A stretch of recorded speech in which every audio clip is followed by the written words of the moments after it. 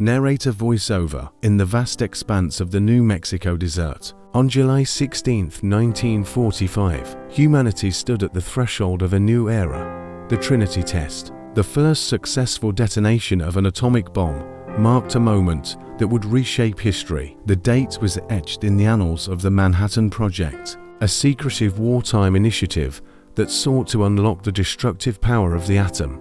The gadget, an implosion-type plutonium bomb, was at the heart of the experiment. Its success or failure would determine the course of history. As the blinding light illuminated the New Mexico sky, a mushroom cloud rose, symbolizing both the immense power of human ingenuity and the ominous specter of unprecedented destruction.